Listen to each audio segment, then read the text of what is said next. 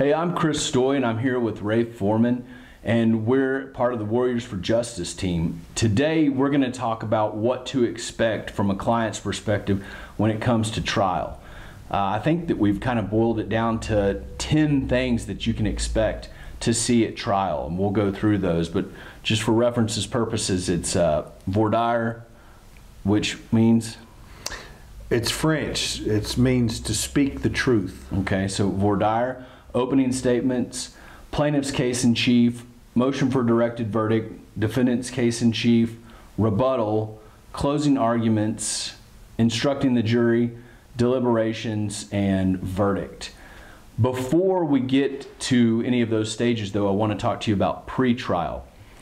A pre-trial conference typically happens in a smaller personal injury rec on the day of the trial, maybe an hour or two before.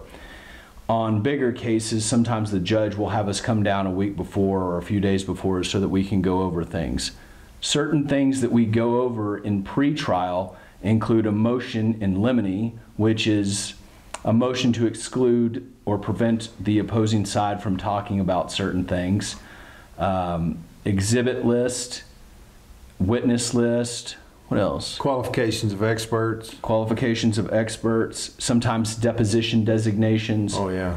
So let's talk about those. So motion, and, and again, we- we're meaning to keep this at a very um, layperson level, and we don't mean to get off in the weeds too much. But motion and limine, uh, we're going to file something saying like, hey, they shouldn't be able to talk about, and maybe we have 50 motions, little bitty motions in limine saying anything from they shouldn't be able to talk about our client's wreck 15 years ago, they shouldn't be able to talk about our client's divorce two years ago, just a number of different things. The defense will say, well, they sh- the plaintiff shouldn't be able to talk about insurance, shouldn't be able to mention uh, yada yada yada.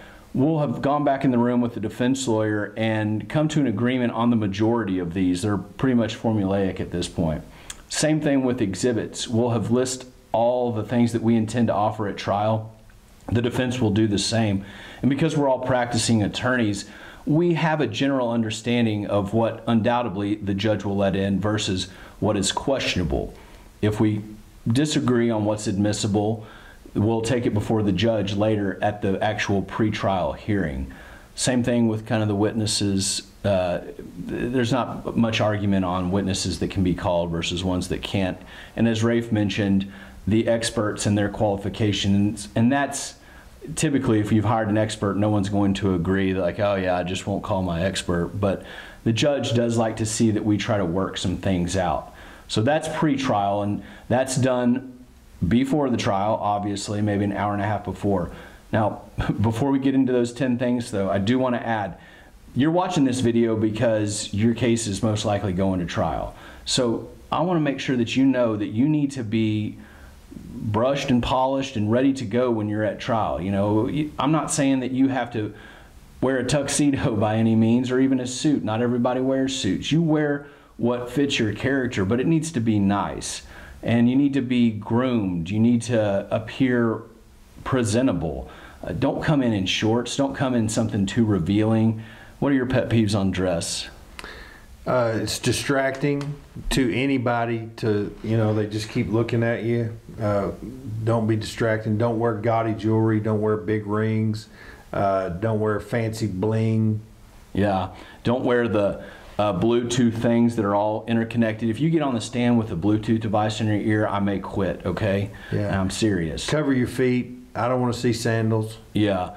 Uh, and just yeah, do that. Pack something to eat. Maybe bring bring some water just so you'll have it. And arrive to court early. And know that you know I'll be in the jury room talking with opposing counsel about pretrial. And just be comfortable. There's something about arriving to the courthouse with enough time that you can kind of breathe and take in the atmosphere and get over maybe those little jitters and just feel it for a little bit before you step in. Don't talk in the court. Uh, In the court, period. Yeah. Don't talk in the hallways. Don't argue with the people that are running you through security. Don't act like a fool because you're coming in with the jurors and they're going to see how you really act. Act presentable and don't be talking to anybody. Don't be talking about your case. Don't be big dogging it. running your mouth, talking big, bold in the elevator, being critical of anybody. All these things have happened, which is why I mention them. Don't be one of those that goes on our next video. I'm so glad you said that because the jury trial starts from the minute you leave your house that morning. That means the minute you pull out of the driveway, don't cut someone off, don't flip someone off, just even if they deserve it, because you never know that person could be on your jury. And the last thing you want to do is walk in and see that person. I mean, can you imagine how white you would get if person sitting there that's about to determine whether you get compensated for your harms and losses is someone that you flipped off and yelled at earlier that morning? Just don't do it. I agree. It'll happen though. Don't spit on the sidewalk. Open the doors. Just be a Throw your trash down Yeah. and not pick it up. do what your mama taught you to do. Correct. Well, maybe not. I don't know your mama. okay. Do what Good we're point. telling you to do. Act right. Good point. So let's talk about voir dire, and I'm going to kick that over to Rafe. If you can just kind of give a lay person's overview of what voir dire is, so that our clients know what to expect. Lawyers love to say voir dire and they claim it's Latin. They don't even know what they're talking about. It's French. We're not going to talk about voir dire. You don't need to know what that word means. It's jury selection. No, it's not. Let me scratch that out and get that out of your mind. It's jury deselection. We don't get to pick who's on our jury. We get to knock off about six of the bad people that we think are going to be bad for our case. So it's jury deselection. Here's what I need you to do. I don't want you to tell me, oh, I got a bad feeling about this. I wouldn't date that person. I'm talking about, I've got a bad feeling this person doesn't seem very empathetic, doesn't seem like he would listen to the case, falling asleep, Rolled his eyes. rolls his eyes, laughs, and makes fun of you every time you talk, which you'll see a lot of that. So when I'm up there talking, you be watching for people that are rolling their eyes or sneering or making fun of me because, frankly, that happens a lot.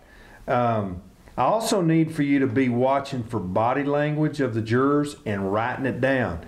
We're going to get in a, a debate in the back room. If you tell me juror number three did so and so in the in the jury deselection, I want to see where you wrote it down so I can get what you wrote in the moment, not what you recall two or three hours later. And it's very important, your input. But I want you to be able to defend it because we're going to be able to defend ours. I'm going to have copious notes of why I want to get rid of somebody. And it's okay to tell us who you favor, but we don't get to pick those. I'm very much more interested in who you're deathly afraid of or who you think is a Nazi, for example. You know, so that's what I need for you to do in voir dire. Now, where do you sit? How do you act? What do you do? You're the plaintiff. You're the star of the show. You get to sit at counsel table between Chris and I, or beside Chris and I. We'll be facing the jury panel. Now, here's the problem. Uh, they're sitting down, you're sitting down, and so you can't really see who's in the back row on the fifth fifth row back there. You can lean over, you can't stand up, but my practice in voir dire is I've gotten to where I have the jurors stand up so we can see from everybody on the table can see whether they're talking. I just need you to really pay close attention and watch what's going on. Here's the next thing. Chris and I are going to be focused on the case, the law, and the judge. We need you to be watching the jury. When they when the judge tells them they can go out in the hall for a restroom break, we want you to tell us who's talking to each other. We want you to watch when they go to lunch and tell us who goes to lunch together because those are important relationships and alliances that are already being formed. And we might not be watching because we may be getting uh, in an argument with opposing counsel or talking to the judge. We need you to keep watching that jury. Yeah. So each judge has different time limits on voir dire. Sometimes in a federal court case, it could be as little as 15 minutes. Other Which cases, is terrible. Yeah, it is. And wrong. Other cases, it could be an hour, two hours. I've seen cases that go for voir dire for days, right? I've not actually done one, but I've voir dire enough juries, and those at typically two hours in a car wreck case. Um, so after the plaintiff's lawyer does voir dire and asks questions, the defense lawyer will get up and have the same amount of time to ask questions as, as well. Then the judge will excuse the venire panel, which is the actual, they're not jurors at this point, they're just venire members. Mm-hmm. They'll excuse the panel and the attorney, your attorney, will be able to make challenges for cause, which uh, briefly, challenge for cause. A challenge for cause is a jury who is bringing bias and prejudice from outside the courtroom into this courtroom and is going to judge the merits of this case based on something other than the evidence presented in the trial. And so we're going to be using your notes and the observations that we made during voir dire to determine who should be challenged for cause. The judge will either grant it or he'll deny it. But then we have what's called peremptory challenges where we get to strike a venire member for any reason as long as it isn't one of the protected classes of uh, age, race, uh, Gender identity, gender, gender. yeah, all those. Um, we have to have a neutral National reason. orientation. Yeah, all those reasons that we can't strike. But it could be that the guy just looked at us wrong. We didn't like that. And we'll typically use those on ones where we lose the challenge for cause because it clearly indicates that we don't like that. Then, after all the challenges have been made, now, the, mind you, these people will be seated one through whatever, 42, and say juror number one and number two is struck, or venire member number one and two is struck, the judge will call out the first in county court six jurors that are left, and in district court, the first 12 that are left. So if one and two have been struck by whatever method, whether it's challenge for cause or peremptory, number three becomes juror number one, and it just keeps going down the line. Then we got our juror set, right? Right. The judge then panels them where he reads this lengthy uh, thing, and in Texas still includes instructions not to look on MySpace, and that's how outdated that one is. And usually we It used to be don't read the newspaper or watch TV. yeah.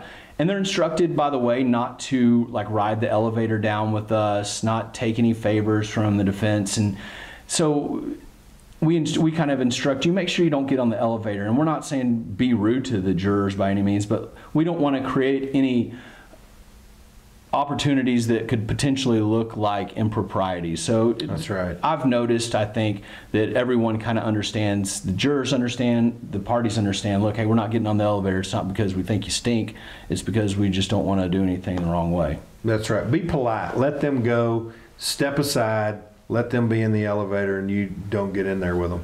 Let me tell you something else not to do. Uh, you go home at night and you say, "Okay, we got these six jurors. I'm going to start Facebooking them. I'm going to start looking them up online." And uh, hey, I, I think I know this person. Do not do that. Or friend them or anything. Don't, yeah, don't, do friend them. That's unethical, and we'll get in trouble for your actions. So don't be doing that. Yeah. Just leave the uh, social media alone from the time the tr- the day before the trial starts till the day it's over. Yeah. Don't post anything either during trial. Yeah. Uh, now we'll move on after voir dire. Typically, there's a break taken. Maybe it's only 15 minutes. Maybe we go to lunch, but then we come back and we do opening statements. Generally, you're allowed 15, 20 minutes for opening statements. Opening statements are list, limited to what we expect the facts to show. So we can't make argument, and there's a fine line between that, and sometimes we'll draw an objection if we argue too much. But basically, we're summing up what we expect to prove to the jury. I agree. That's the function of an opening statement. I'm incapable of making a statement without argument, evidently, because everybody on the other side objects. But if I tell you that I expect the evidence is going to show, that's not an argument. That's what I'm doing for opening statement. But I'm going to tell a story in this opening statement that we're going to deliver in our case in chief because whoever has the most credible story is going to win this trial and we're going to have the most credible story and so you will have heard this story hopefully before your trial because I'm going to vet it with you. We're going to give this opening to you, let you read it, let you talk about it, correct any misunderstandings we may have because there's a problem with opening statement and it's called overpromising. We don't want to overpromise. If we say it's going to happen, we want it to happen. If I tell you it's Easter, you can go home paint your eggs. and so, bottom line is, I need the opening to be correct. And so, I want your feedback before trial. I want you to re- read it, edit it, and tell me this is a little bit, th- this is not exactly true because I want it to be exactly true. Opening statement is the second most important element in the trial. Voir dire is first. You can you win or lose your trial in voir dire. You can lose it at any stage, but opening is so important because opening sets the scene and tells the jury what's going to be important and what to watch for. Yeah, I agree, and I've heard that from many experienced trial lawyers. Is that opening voir dire is when you win the win the trial? So, seen it happen too. Me So the next thing we'll move into is the plaintiff's case in chief, and this is where the actual evidence is presented. So. Up until this point, nothing is evidence. Now, there's issues that can be created that are appealable, but I'm going to set that aside. Uh, plaintiff's case in chief is where we put on evidence, and evidence consists of testimony and it consists of like documentary evidence, medical records, police reports, mm, pictures, uh, different things that we've collected, Diagrams. diagrams, all kinds of stuff. And we'll start since we have the burden of proof. We will start with putting on a witness, and it just depends. It's it's a, always a tactical decision as to who we are putting on first. Sometimes and often we will put on the defense or the defendant first because they are the they tend to be the villain of the story. Other times, for whatever reason, we will put the plaintiff on first, put you on first. We'll have you testify, go through some medical records. We may call a doctor to testify. We may call that doctor via video that we've already done from a video deposition and play that video for an hour. After each witness that we call, and we're calling on direct examination, after each witness, the defendant's attorney is allowed to cross examine that witness through what's called cross examination and uh, given pr- pretty big latitude for cross examination, right? As a matter of fact, every judge in Texas I've ever practiced in front of says, "Counsel, we have wide open cross." in That's right, Texas." yeah. and that means anything goes. anything goes. And then after the defense is done with cross examination, we can redirect, meaning clear up anything that they addressed on cross. Now, it is a limited redirect, right? You're limited on the questions that you ask on redirect that have to be covered in a cross. So there is a proper objection outside the scope of cross, and the judge will cut you off. You can you can't redirect on what you forgot to do on direct.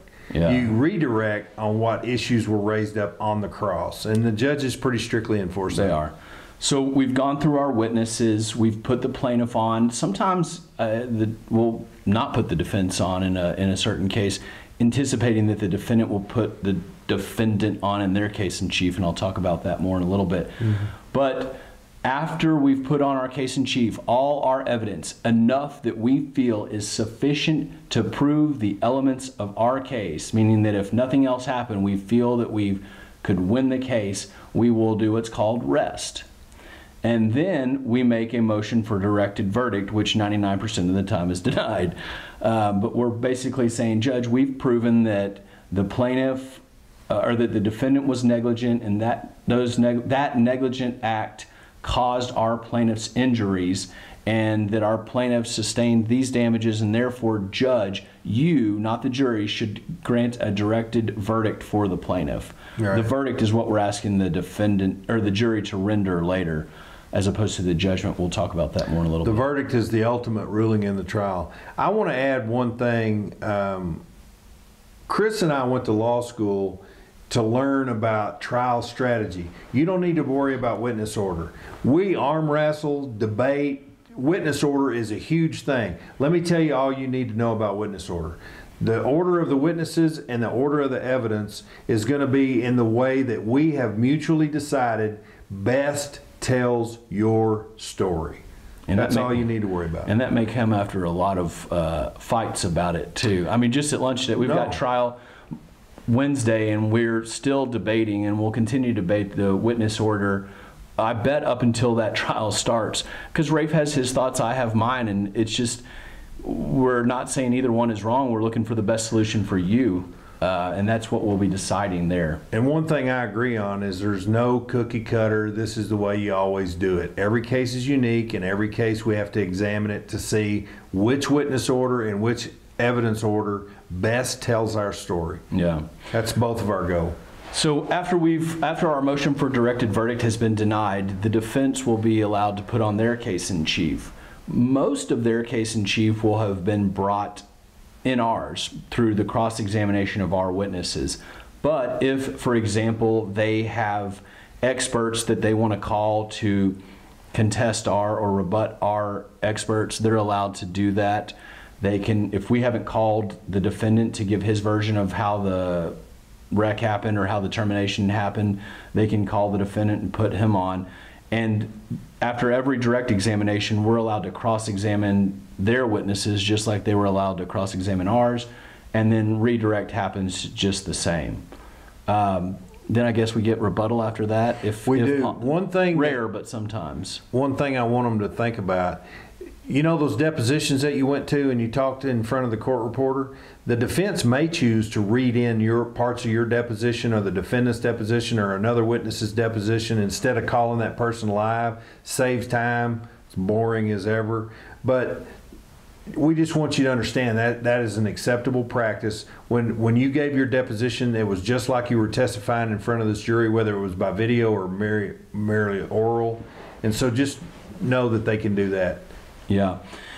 At that point, um, all the evidence has been completed. The defendant will rest, and then will both parties will close. They'll say, "We close," meaning that the evidence portion of the case is over. No more evidence. And I can't remember the exact order in federal court, but in uh, state court, we will then work with the judge on crafting the jury instructions that Yep. are going to be read to the jury. So the jury will kind of be dismissed. They'll go out in the hall, or maybe they'll even go home for the evening, and we'll sit there with the judge. And that we've got these forms for jury instructions. It's what the jury the jury questions, and the the judge, we, we all pretty much know now in really complex cases, we may have objections about what's being presented to the jury, but in a general car wreck case, we all pretty much agree that this question, this instruction should be submitted, this question should be submitted, and if we have any issues, we object, but the judge ultimately rules. Yeah, I've seen charge conferences last seven, eight hours. Uh, the jury's, you know, sent home again. Um, but it's important that we get these right. These are the roadmap and the instructions that the jury has to find liability or not find liability and put damages. So we got to have them exactly right. I'm glad you said that. I think sometimes I underestimate how important that is. For example, we may be arguing over whether the judge puts the word injury versus occurrence in the instruction, and I've seen cases that I swear would have turned out differently had the judge have put occurrence as opposed to injury or vice versa. So mm-hmm. It, it is very important, and I don't mean to underplay. Um, you, as the plaintiff, will have no participation in this. No, but I, I'm trying to give you a, a, an alert. You may wonder, what are y'all doing all Yeah. this time? Are y'all Yeah. playing golf? Did you go to lunch with the judge, or what are you doing? We are literally trying to get every comma, every period, every word Yeah. correct. And in some cases, it's at a time where it's maybe at the end of the day, and we'll just tell you you can go on home because we know that it's going to take a while, and there's not going to be any more trial today.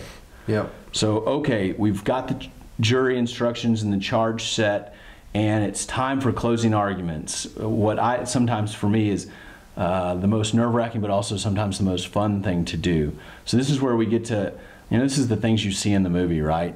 Um, you can take it from here.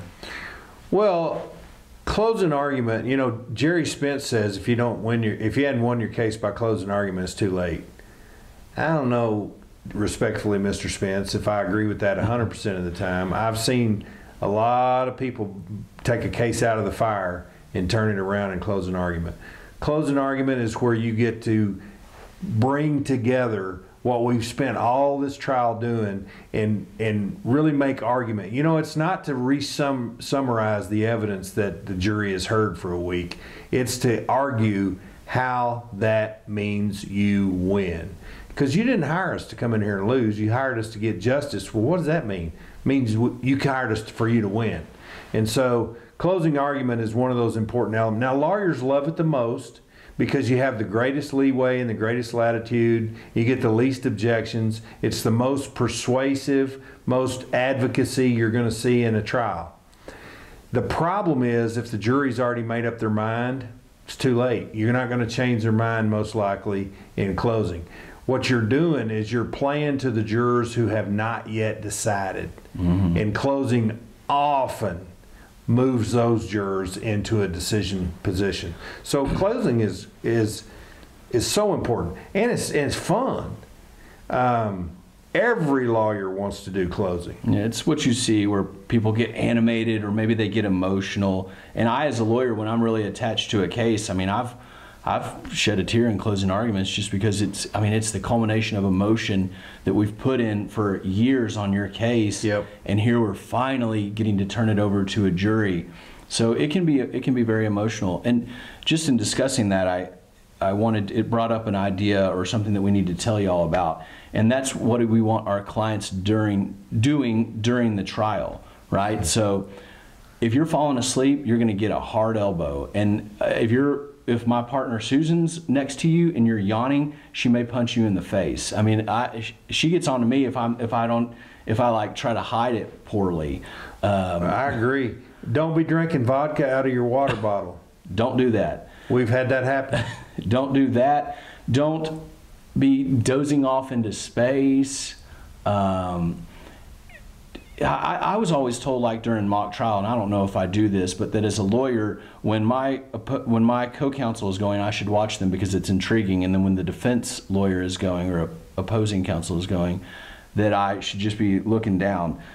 Um, that's mock trial, but what about for our clients in terms of trial? Should they be watching the defendant's attorney? Should they be watching us? What do you think?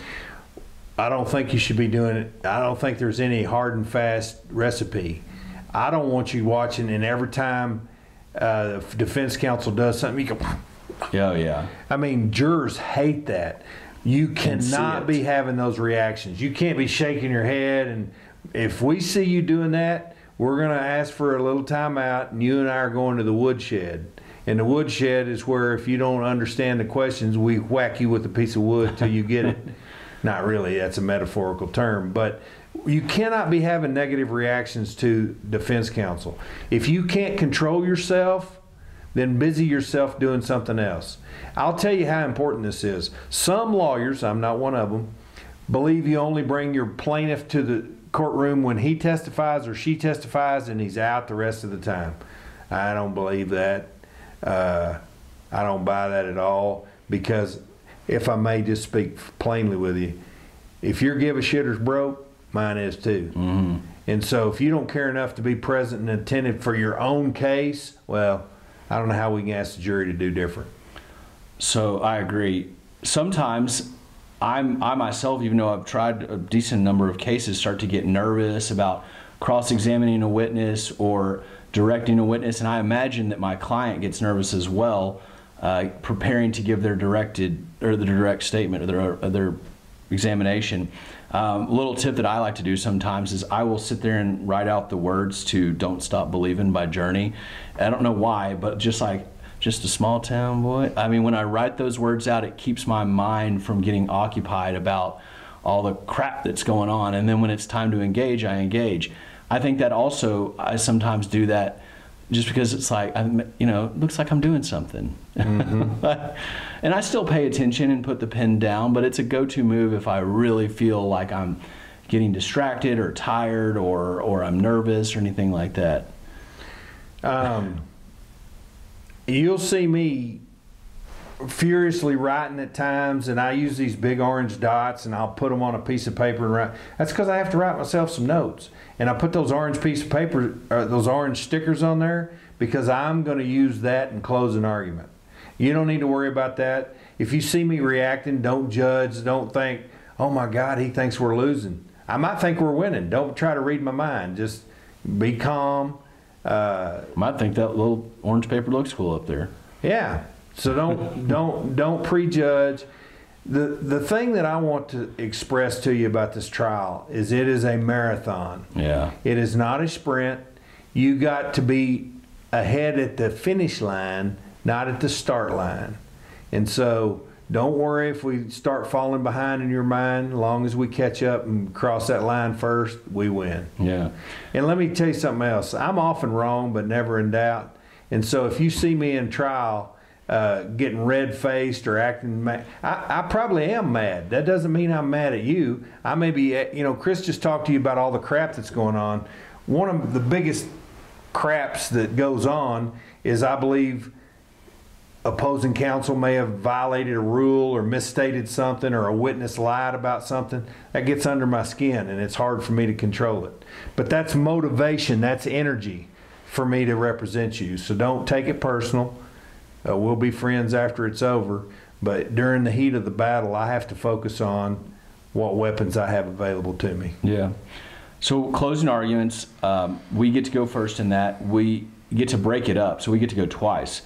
Typically, we get about 15, maybe 20 minutes. We can get longer if we really need it and judge grants it, but we'll reserve a portion of our allotted time for rebuttals. So, say we get a total of 20 minutes, we'll do 15 minutes for the initial part of the opening where we have to, what's called fully open, I mean, yeah, fully open, full open over the close, where we set forth the amount of money that we want and how we've proved the elements of our uh, case.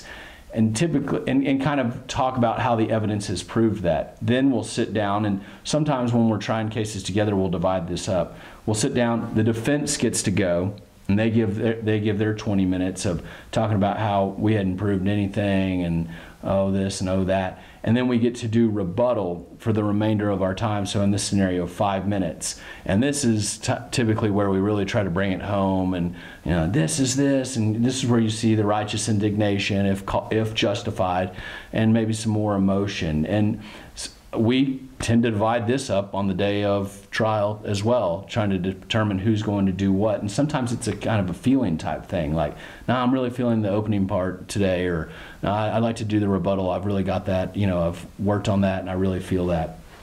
After closing arguments, the judge will discharge the jury back to the room. They'll have those questions to answer until and give them their final like deliberation instructions, which is pretty short at this point, and they'll go back and then begins the most nerve-wracking pro- time of all. This is when we're waiting on a verdict. Yeah, I recommend you bring a book Yeah, because we don't want to be. He And and, a I are already tape. rehashing the trial and what we should have done and what we, you know, we don't need to be doing that as a group. It's not productive. we just need to be relaxing. Now, sometimes the deliberations take a few minutes. Sometimes they take days. Yeah. We don't know how long they take. So bring you a good book, settle in. Our clients are going to say, yeah, but how? But on a general note, how long does it take? Well, I don't know, a few hours for a car wreck, you know. Well, but I've gone a day and a half on a car wreck. My answer to that is how long does it take to have a baby? I don't As know. long as it takes Yeah. till it's Um, done. and like there may be notes that come out uh, from the jury and for the most part the judge is going to say you have to obey the instructions that i gave you do not read anything into these notes unless the note says can we award more than the plaintiff asked for Which I've gotten that note. because I mean I've I've gotten plenty of notes and been I, I swear I'm wrong more than I am right on what that note means. Well, see, I'm often wrong, but never in doubt. exactly. If, I think in a note that says we need a calculator might be a good sign. Yeah, yeah. Um, and and you know what? I man, we've won cases we should have lost and lost cases we should have won and it, at that point we're just we've given it to the jury and that's all we can do and I can assure you that if you've got us, we've done everything we can to try your case as best as possible. And it doesn't mean, you know, even if there's a loss, doesn't mean that you were wrong. And if you didn't get as much money as you expected, doesn't mean you were wrong. Sometimes the wrong people got on that jury, or just, you know, shit happens. Uh, eventually, the jury will come back with their verdict. You'll hear a ding, a bell. By the Unless way, it's a hung jury. yeah. But by the way, during uh, deliberation, do not go like leave the premises without talking to us. I cannot. I've had it where the jury's come back and you want to see a pissed off judge. Have the plaintiff be gone out playing tiddlywinks, doing no telling what, and doesn't even have their cell phone on them, and we can't find them. Don't do that. Stick around. Now the judge will let us know like, hey, jury's going to take a break. Y'all can go or or we're going to take a lunch break. We'll let you know about all that, but just do not disappear. We understand that you have maybe work, family obligations, this, that, and the other. We'll figure out something. Uh, directed, I mean, uh, hung jury In a trial of 12, you have to have at least 10 jurors agree on all the issues. In a jury of six, you have to have at least five. If you can't get five or 10, it- their jury's hung. And that's a process that we hope doesn't happen because nobody wants to try the case twice. Yeah. After the verdict's been given, the judge will do kind of like what you've seen um, in movies. He'll say, he'll have the lead juror stand up. Well, he'll read the verdict, and for the plaintiff, we find blah, blah, blah. And he'll read the split of negligence, and, and he may stop after the first question if the defendant was not negligent, but then he'll read the damages. As a matter of professional courtesy, you're supposed to remain as stoic, I guess, as possible. Whether you do or don't, eh, I can't say. Control yourself. Yeah. After the verdict, the judge, at least in state court, will allow us the opportunity to talk to the juror members, and some of them will stick around and they want to talk. Others do not. They want to go on with life, and we're not going to. We're not going to. They've done their civic duty, so we're not going to pressure them to talk to us. Um, you're welcome to talk to the jury. Some of them, I mean, I've had some of them come up and just want to give my client and and give my client a hug because they feel so horrible about what my client's gone through. I'm sure you've seen that. Oh, yeah. I've also seen them go read the defendant the riot act. Um, I, I always try to talk to the jury. That is the most priceless piece of the trial. How can I learn how to improve myself better than to have the people who just judge my client and my performance give me the feedback? yeah, and that's the verdict, you know. And hopefully, we've got a great, um, a great thing. After we got the verdict, within 30 days, or as soon as possible, we'll ask for a judgment. Which a judgment is the formalization of the verdict. It gives us the opportunity to collect.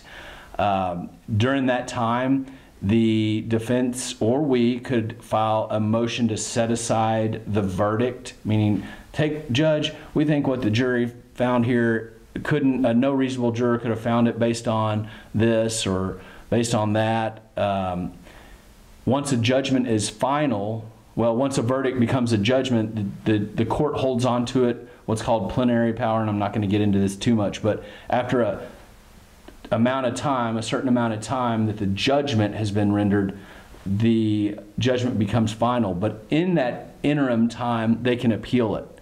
We're not going to talk about appeals, but I'm just saying, Yeah. you know, just know that that's a possibility. Um, you will get paid on this judgment as soon as we can get paid. We want to get the money in too. How long does that take? Oh my gosh, yeah, that's the that's the question everybody wants to know. If you know, for the most part, if, if it's been a reasonable verdict, now if we go ring the bell and we get millions of dollars, they're going to probably fight us on it, uh, unless barring unforeseen circumstances. But if it's a general car wreck and it's in, it's within the policy limits, we're going to get the money within and pay you within 30 days.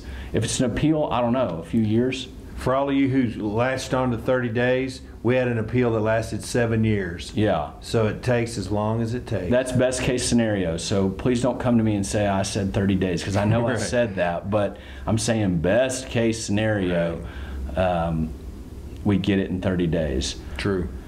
And that's about it for trial. Again, behave yourself, please. I have some, uh, a couple of do's to don't. Don't whisper to me at counsel table. I can't hear you. Look at me. I'm old. I need you to write me a note. If I can't read it, I don't know what you said. So it needs to be written plainly and clearly. I want to hear what your comments are, but please, and I'll provide you with note cards or a notebook for you to write me notes. It's okay for you to write me notes, and I want to, but I cannot hear you because all of my energy is trained on listening to what that witness is saying.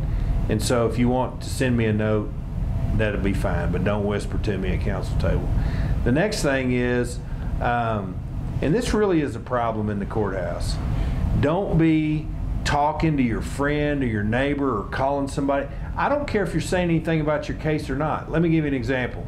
Hey, Bill, how are you doing today? I mean, talking like that in the courthouse is not appropriate. Nobody wants to hear your conversation, newsflash.